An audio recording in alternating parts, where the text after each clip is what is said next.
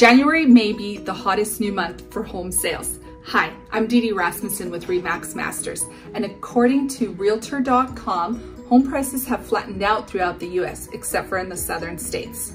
Here in Metro Atlanta, we've seen an 8% increase since this time January last year.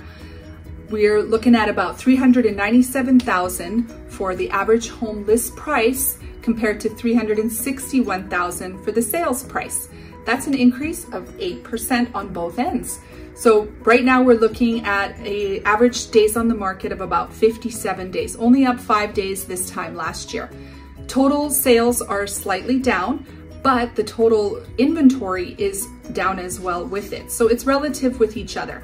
The sales price to list price is at about 98.5%. So we're not seeing a buyer's market in that sense and more of a stable market.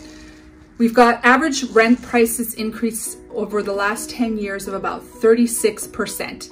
So this is a great time to buy with the mortgage rates being at a national low of about 3.8% on average. So we're gonna probably see that likely throughout 2020. So this is a great time if you're a renter to cash in that rent check for uh, building your equity on your mortgage now. So if you're thinking of buying or selling, I'd love to help. Call or text or email me and let's set up a meeting so we can discuss your options. If you wanna see if the value in your neighborhood is up, as some are up even more than the average 8% as well, give me a shout. I'd love to help and give, sit down and have a look at your home and just tell you where your values are sitting at today.